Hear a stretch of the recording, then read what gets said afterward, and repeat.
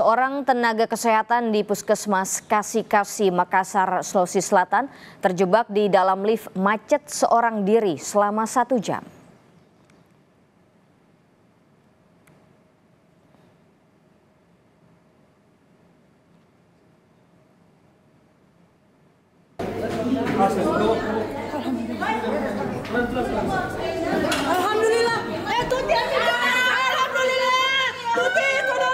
Nakes itu terang, langsung berlari keluar usai petugas damkar berhasil membuka pintu lift.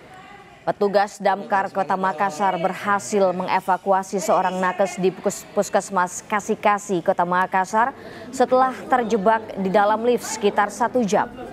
Petugas damkar menggunakan alat seadanya untuk membuka pintu lift.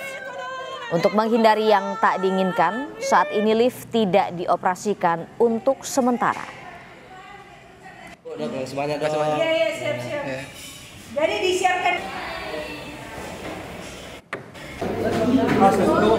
Alhamdulillah.